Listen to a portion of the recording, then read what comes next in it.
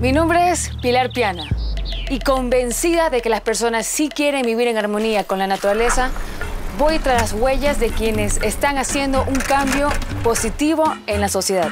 Utilizar la naturaleza como es. Evitamos la tala de palmas para el palmito. También es la parte ecológica. Este es oficial. Siempre me han apasionado dos cosas.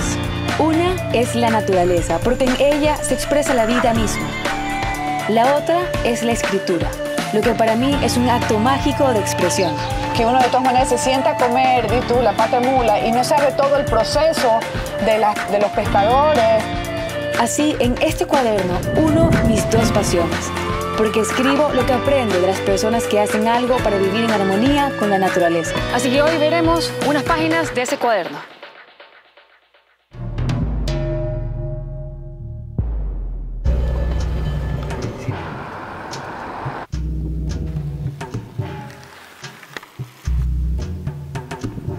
¿Cómo sería nuestro planeta sin electricidad, sin energía? Para que tengan una idea, para cubrir el 90% de nuestras necesidades energéticas, hemos utilizado y seguimos utilizando combustibles fósiles como el petróleo, el carbón y el gas. Todos ellos han sido considerados contaminantes y no renovables. En otras palabras, que en algún momento se van a terminar. Sí, yo sé, es verdad. Puede sonar a sermón, pero que levante la mano quién no ha dejado la luz encendida al salir de casa.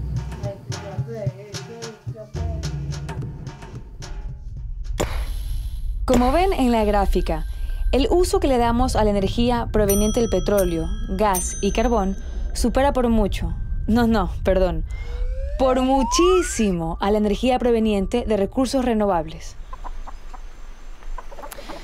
Bueno, tal vez se preguntarán qué hago rodeada de gallos y hablando de energía. Aunque suene algo extraño, ellos, ellos y ellos nos pueden ayudar a producir energía limpia, o sea, sin contaminar el ambiente. Al menos para poder prender una hornilla y cocinar un rico plato. El objetivo de la empresa económica mixta E EMAG-EP BGP Energy es contribuir con la reducción del calentamiento global mediante la captación y destrucción del gas metano existente en el biogás del relleno sanitario de Pichacay en nuestra ciudad. Con esta captación del biogás se espera disminuir la contaminación ambiental del CO2, equivalente a unos 14.000 vehículos diarios.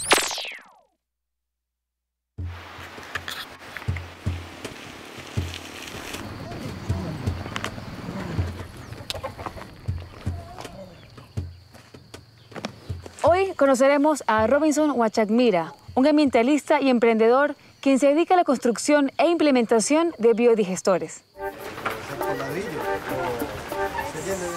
Sí, buenas tardes. Pili? ¿Usted es Robinson? Robinson, sí, mucho, gusto. Hola, ¿cómo le ¿Cómo va? está? ¿Su nombre? Isauro. Isauro, Bienvenido. mucho gusto. Hola. Bienvenidos. ¿En qué los agarré? ¿Qué Ah, están haciendo? Aquí estamos dando mantenimiento a este biodigestor. Robinson Huachacmira trabaja en una red de organizaciones de agroecología. Desde allí se ha propuesto rescatar los valores de la cultura campesina, realizando actividades de manera amigable con la naturaleza y sin utilizar químicos. A ver, el, bueno, el biodigestor eh, funciona, es una instalación que nos permite fermentar desechos orgánicos eh, de forma anaerobia, que no haya presencia de oxígeno. Entonces, en este caso, lo que estamos procesando aquí es estiércol de chancho. ¿Cómo usted empezó con, con los biodigestores? Empezamos como a eso del año 2000 con un primer biodigestor que se instaló en una co- comunidad cerca acá, que se llama El Cristal. Vino un técnico colombiano que nos enseñó ahí y claro, ahí en ese tiempo nosotros éramos participantes de, esta, de estas capacitaciones. Esto lo que hizo es que en algunas cosas yo vaya fortaleciendo eh, algunas iniciativas, algunos conocimientos y esto lo pueda luego difundir y fortalecer también en mis compañeros. Entonces, ah, para mí fue interesante eh, estos aprendizajes de varios, varias cosas, ¿no es cierto?, que me permitieron luego fortalecer en actividades dentro de las fincas de, de nuestros compañeros productores. ¿De qué manera ayuda un bi- biodigestor? O sea, ¿por qué yo quisiera poner un biodigestor en mi finca? La una es que este nos permite bajar la contaminación. ¿no? Bajamos la contaminación porque aquí si estuviera todo eso que vimos en ese tanque, estuviera al aire libre, estuviera lleno de moscas y los olores estuviera, no, soportaríamos aquí. Ese olor y todo eso se convierte en gas metano, que luego lo podemos... Lo reutiliza en cierta manera para biogás, Sí. energía en la casa. Exacto. Por ejemplo, si se consumía eh, un cilindro de gas al mes, ahora se está consumiendo un, un cilindro de gas, aguanta mes y medio. La otra parte es el uso del biol, porque eso se convierte, también los líquidos se están convirtiendo en nutrientes. Entonces, especialmente tenemos nitrógeno aquí. Eh, Y esto nos ayuda para fertilizar suelos, incluso recuperar suelos degradados, donde ya no produce, se pone este líquido y ha permitido recuperar, ser fértiles nuevamente los suelos. El, el uso del, del biol, que es lo principal para los cultivos, en este caso para los eh, más utilizamos para lo que es tomates y en el vivero también. Eh, el uso del, del biogás eh, también es para cocinar. En una granja similar a esta, pero en Valencia, España, llamada San Ramón, se producen 85 toneladas de estiércol por día. Toda materia orgánica es potencialmente putrefacta y cuando empieza su proceso de descomposición, la materia en cuestión emite gases nocivos a la atmósfera, en especial metano. En España, por ejemplo, ya existen 16 plantas de tratamiento de biogás agroalimentario de casi 10 megawatts de potencia instalada, que más o menos equivalen a tres aerogeneradores. Las energías renovables realmente no son un hecho novedoso. Fueron las primeras energías utilizadas por los seres humanos hasta que descubrieron los combustibles fósiles y se hicieron famosos, poniendo a un lado las energías renovables.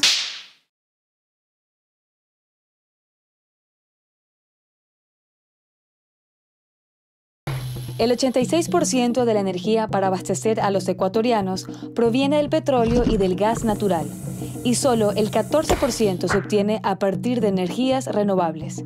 Sin embargo, cada vez más en nuestro país se opta por la diversificación de la matriz energética, incorporando una mayor oferta de energías llamadas limpias. Bueno, con los excrementos de los animales se pueden realizar muchos, muchas cosas, ya que si se los puede recolectar en gran cantidad se puede obtener gas metano. Y también, también se- es una fuente de, combustible, ya que su, su sequedad puede realizarse para quemar, para, para tener combustible, para hacer otras cosas. Eso. Robinson Huachacmira se dedica desde el año 2000 a implementar biodigestores, principalmente en la zona de Intac. Desde entonces, él se ha comprometido a expandir más el conocimiento sobre energías renovables y a dar capacitaciones. Entonces, conozcamos cómo funciona esta cosa. A ver, el biodigestor eh, prácticamente tenemos un extremo que es la entrada y otro que es la salida. Entonces, en este lado vamos a ver la entrada de estiércol. Entonces, como les decía, esto requiere de tener cerca animales, ¿no es cierto? Y conducir este estiércol hasta la zona de entrada.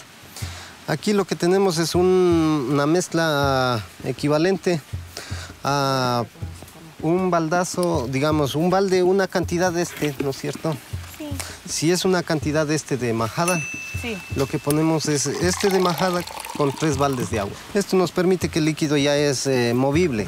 Como puede ver, esto o sea, es líquido que puede... Por esta tubería es, es- Exactamente. viene mezclado Agua el- con estiércol. excremento. Ok. Sí, con estas cantidades, de 3 a 1. Entonces lo que sucede es que pasa por aquí, hay una conexión que nos introduce adentro del biodigestor. El biodigestor es una funda plástica que está hecha de doble capa, un poco para proteger.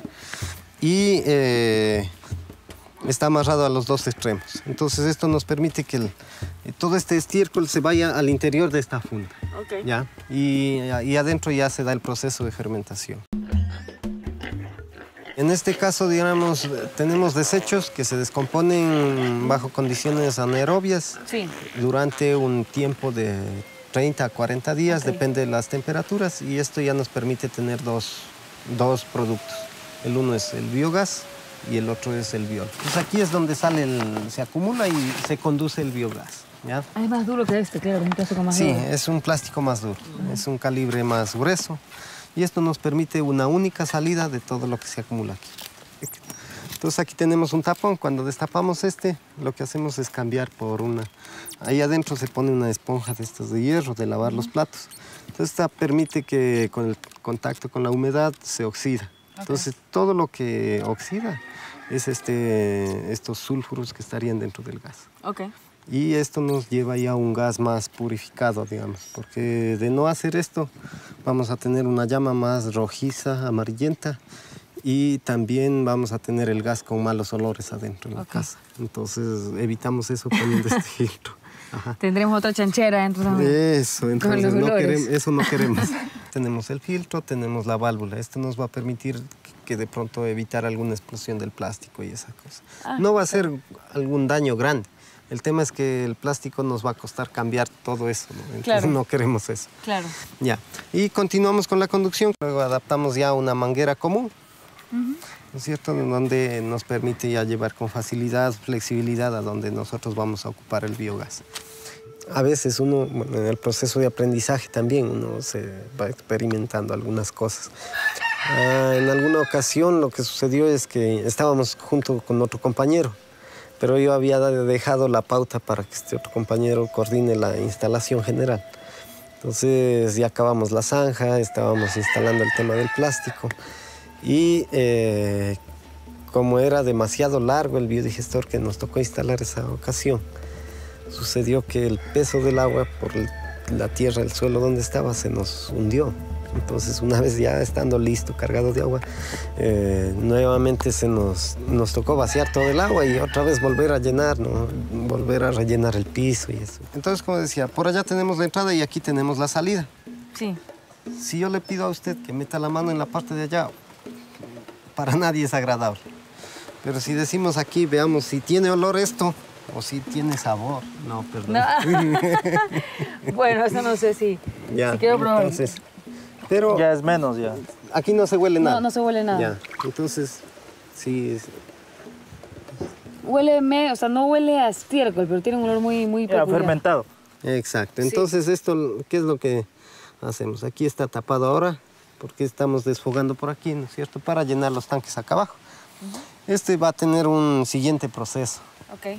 Entonces, esto nos define un poco la calidad del biol que queremos tener. En este caso, ¿Qué define la calidad? eh, es decir, si le ponemos algún, algún ingremen- Ah, ingre- ok. ingrediente más. Ok, pero Tenemos el- que al máximo evitar poner algún tipo de químico o cualquier eh, ingrediente que pueda matarnos bacterias aquí dentro de esto. Si matamos las bacterias, estamos matando el proceso de, de transformarla en gas. En cierta manera, esto es como un gran intestino, Claro. Exactamente. este como es- pasa dentro de nosotros. Exactamente. Lo que hemos hecho es alargarle el proceso. Es un poquito más grande, nada O sea más. que hay, tener que hay que tener cuidado con los gases. Claro. Que esté un fósforo al lado. ¡Ay, no! ¡No! Esto me acaba de recordar algo. Que en Argentina están produciendo biogás a partir de las heces de los perros.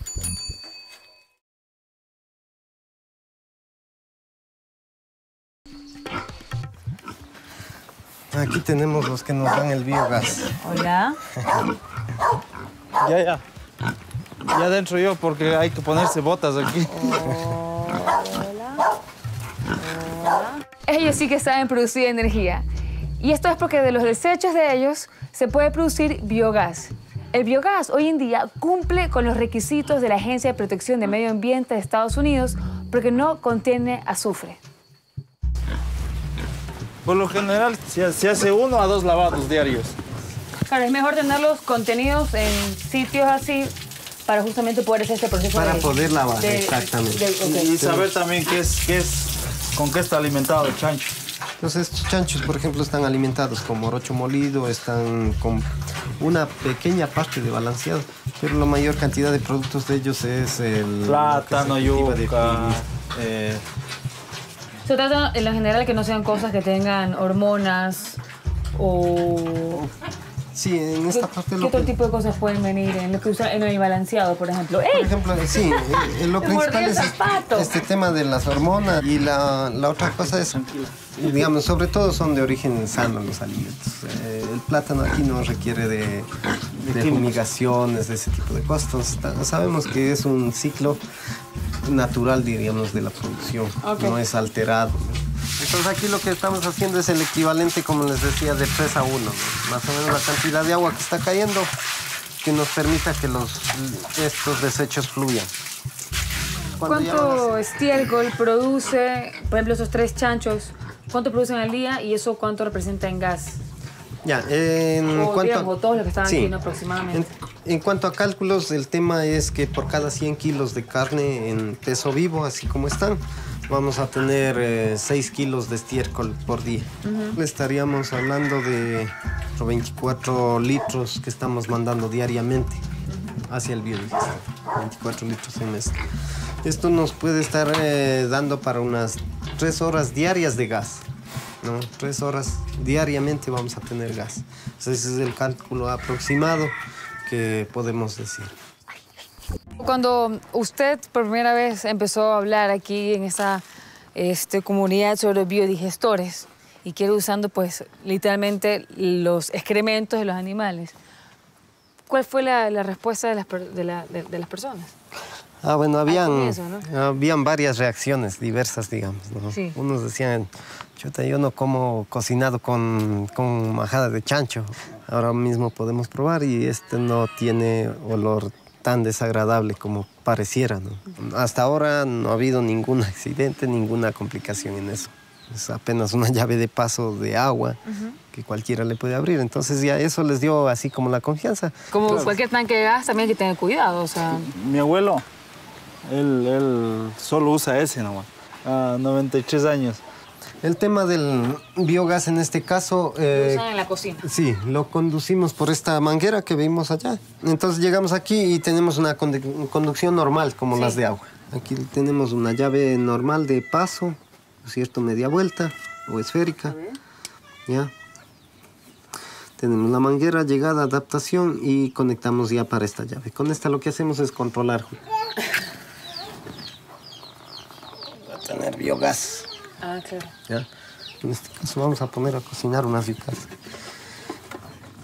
Al comienzo tuve, como dice, algún rechazo. Los, los zancudos molestaban bastante, pero de allí le tapé los, los tanques y perfecto, funcionó y a la, de la mejor manera, pues se cocinaba la, la comida más rápido. Eh, yo le he usado para hervir agua, para cocinar, para diferentes eh, le digo, circunstancias de, de cocinar. Entonces, eh, cocina muy rápido, no que pues había un poquito de riesgo, peligro de que alzaba mucho la llama y se, y se, se escapaba a quemarse uno. Entonces, un poquito de cuidado, muy bueno. Eh, el biodigestor nos ha servido para para menorar la energía de- del bio, del gas, más claramente.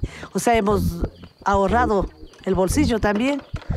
Es una experiencia muy bonita porque eh, pensar de que con la majada de los chanchos, pues eh, hemos tenido esa experiencia de vivir, eh, poder cocinar con, con desechos prácticamente, muy bueno. Se nos queman las yucas con el biogás. Entonces vamos a prepararnos las yucas que nos vamos a servir cocinadas con biogás. Vamos a ver. Bueno, Robinson, ¿y aquí cuáles su, cuáles son sus planes a mediano y largo plazo?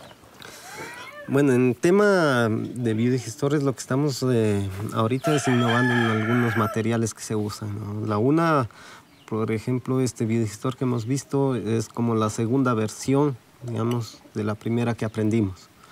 Este ya está con algunas adecuaciones, pero ahora estamos implementando otro, eh, otro, otras adecuaciones que se refiere a no tener estos tanques que están afuera, sino más bien ya directamente tubos. Los, que parecían piscinitas. Exactamente, evitar esos. Y la otra parte que estamos innovando es el tema de, usar otro tipo de materiales porque se requiere que el biodigestor sea más duro, más durable. Si hablamos con cualquiera de las familias que, que tienen un biodigestor, ellos ya tienen otro nivel de, conversación, es decir, ya le van a hablar de la importancia de un árbol, la importancia de que no hay mm, desechos eh, por ahí sueltos. Entonces, es, a eso ya es una conciencia un poco más ambiental y social también de compartir. Si quieren aprender a construir un biodigestor o saber más de Robinson y el mundo Intac, entren a www.ecohuellas.com. Aprende más de estas iniciativas que también ayudan a fortalecer la agroecología en las familias que hacen agricultura y valoran su tierra. Saludos desde Intac, Robinson. Pero también le tenemos algo. Esto sí que pesa. Todo eso. Todo esto. el, por qué el por qué todo esto. Porque es una muestra, primero, de la finca que hemos visitado. Bueno. Son fincas agroecológicas biodiversas donde se produce desde las frutas, las yucas, las cañas y todo esto. Bueno, así, muchas gracias. Ya, pues ha sido un gusto también. Robinson. Entonces, nos vemos buen pronto y que continúe con su, con su emprendimiento. Algunas veces es posible que no emprendamos un proyecto porque consideramos que tendrá poco alcance o que no tendremos los recursos suficientes. Pero al igual que Robinson, con perseverancia y convicción, podemos empezar por influenciar a quienes están a nuestro alrededor hasta que se convierta en una acción que se replique. La aventura continúa, así que acompáñenme en el próximo programa a seguir descubriendo más huellas.